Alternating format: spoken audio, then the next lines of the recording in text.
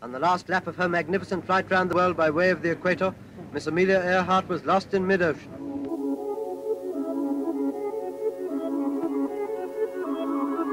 She's America's favorite missing person, right?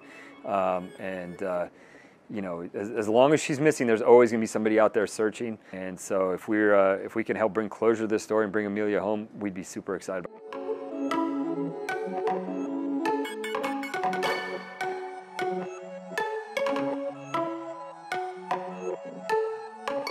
See the twin vertical stabilizers in the back, and you see those very clearly in the image. Um, the, uh, the, the area that we found the aircraft was it, super flat and sandy. Um, and so to see anything protruding above the surface uh, would be highly unusual. And then thirdly, the size of the aircraft and the dimensions are very close to what we'd expect for her aircraft.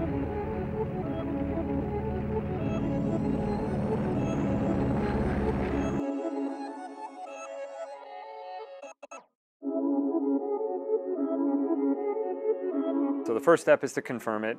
Then we kind of curate, figure out what the site looks like, how it's sitting in the, uh, in the mud and the sand.